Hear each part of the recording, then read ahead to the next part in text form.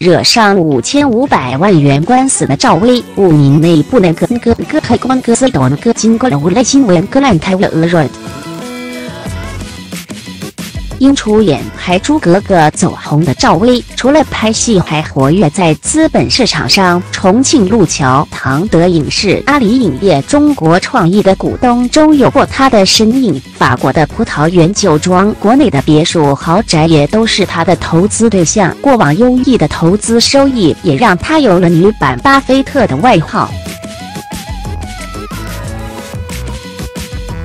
也不知道哪里来的自信。在二零一七年，赵薇和丈夫黄有龙打算利用一家空壳公司，以六千万元的自有资金撬动三十亿元的杠杆资金，收购市值百亿的万家文化六零零五七六 sh，现名为祥源文化。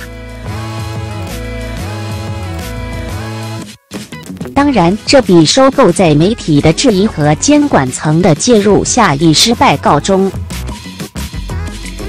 故事到这还没结束。继今年九月，赵薇夫妇遭四百四十位名投资者索赔五千五百八十五万后，又于近日收到上交所发来的纪律处分决定书。上交所决定对浙江祥源文化股份有限公司及时任董事长孔德勇、西藏龙威文化传媒有限公司及其直接负责人黄有龙、赵薇、赵正予以公开谴责。并公开认定上述人员五年内不适合担任上市公司董事、监事、高级管理人员。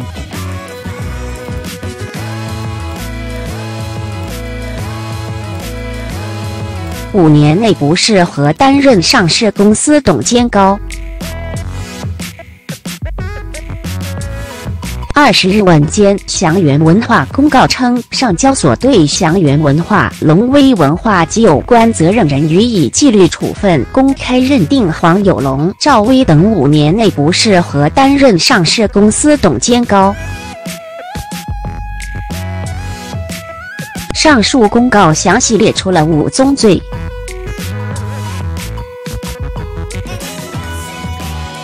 一龙威传媒为审慎筹划收购事项，未充分提示终止风险，对市场和投资者产生严重误导。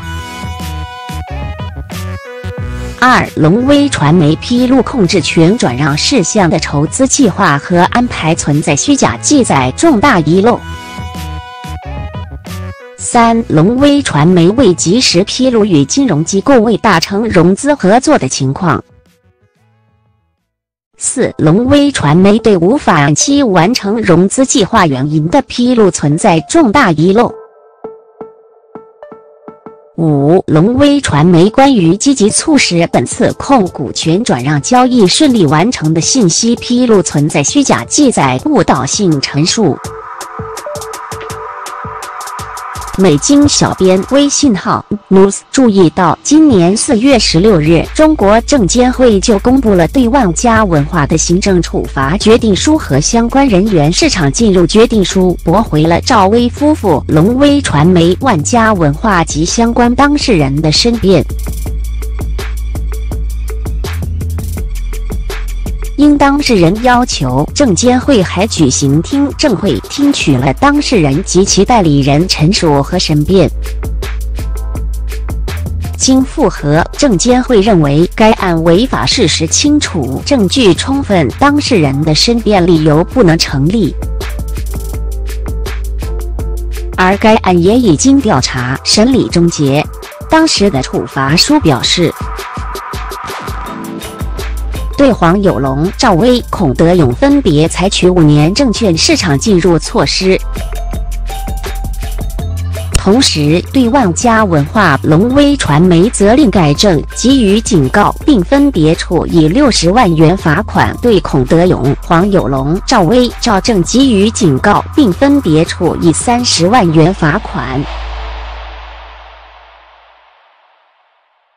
四百四十人索赔五千五百八十五万。上交所发来的纪律处分决定书中显示，经核实，祥源文化因筹划控制权变更事项于二零一六年十一月二十八日停牌。停牌时，公司股价为十八点八三元股。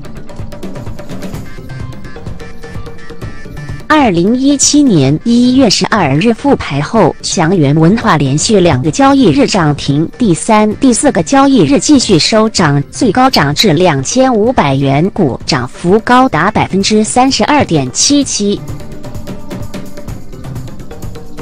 二零一七年二月八日，祥源文化再次停牌。停牌时股价为二十点一三元股。停牌期间公告，股东股份转让比例由百分之二十九点一三五变更为百分之五万零三百九十六。二零一七年二月十六日，祥源文化复牌当日，股价下跌百分之八点四九，第两个交易日下跌百分之六点八九。二零一七年四月一日，休市，祥源文化公告解除协议，此一交易日股价下跌百分之二点三九，后续该股股份持续下跌。二零一七年六月二日，祥源文化股价跌至最低点八点八五元股。截至二零一七年七月二十一日，祥源文化收盘价为九百零三元股，较二零一七年一月十七日股价最高点二十五元股下跌。百分之六十三点八八，较二零一六年十一月二十八日首次停牌前股价下跌百分之四十五点二零。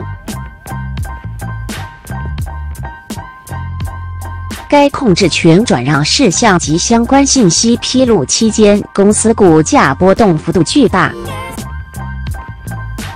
在此背景下，不少投资者损失惨重。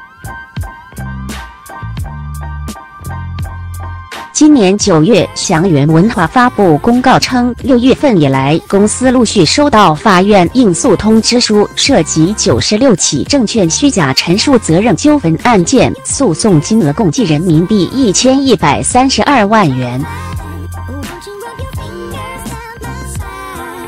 已有四百四十位投资者起诉公司，总计索赔五千五百八十四点七七万元。其中部分案件的被告还包括赵薇、龙威传媒、孔德勇等人。据第一财经此前报道，起诉材料显示，来自上海的王女士在二零一七年一月二十四日至二十六日期间，合计买入万家文化片祥源文化幺零零零零股，均价二十点九四元每股，至今仍持有。经律师计算，索赔金额九点六万元，其中包括投资差额、佣金、印花税、利息损失。截至九月十九日收盘，祥源文化的股价为四点九三元每股，比原告王女士入股时缩水了百分之七十六。代理律师说，一方面，在二零一七年一月十二日至二零一七年三月三十一日期间买入祥源文化股票，并在二零一七年四月一日后继续持有或卖出该股票的受损投资者可以索赔。另一方面，在二零一七年一月十二日至二零一七年二月二十七日期间买入祥源文化股票，并在二零一七年二月二十八日后继续持有或卖出该股票的受损投资者可以索赔。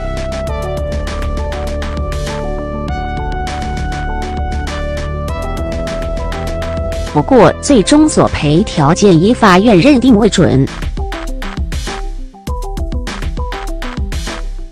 近年来，资本市场的虚假陈述案屡有发生。祥源文化案之所以备受关注，在于该案有多个亮点。据《财经》杂志，上海汉联律师事务所律师宋一新表示，祥源文化案有三个明显特点。一是影视明星在资本市场里被顶格处罚的，这是首例；二是祥源文化行为涉及法定的虚假陈述三个方面全部内容虚假记载、误导性陈述、重大遗漏，事业界首例。三是用两百万元注册的空壳公司大胆收购一家上市公司的做法极为少见。每日经济新闻综合美金 App 第一财经，每日经济新闻。